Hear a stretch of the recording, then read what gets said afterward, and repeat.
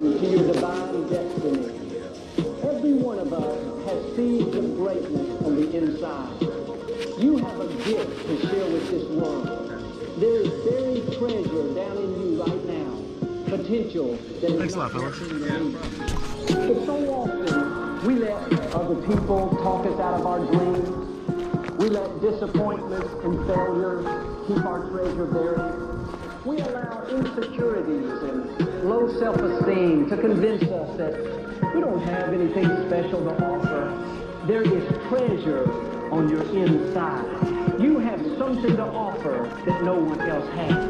And if you don't step in to your destiny and release your gift, then this world will not be as bright as it should be.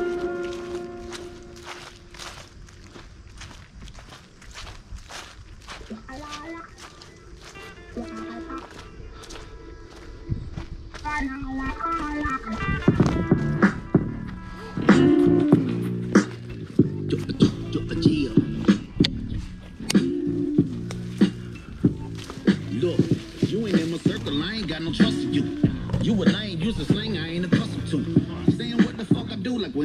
wake up naked in the bed, laying that's a Dr. Hospital.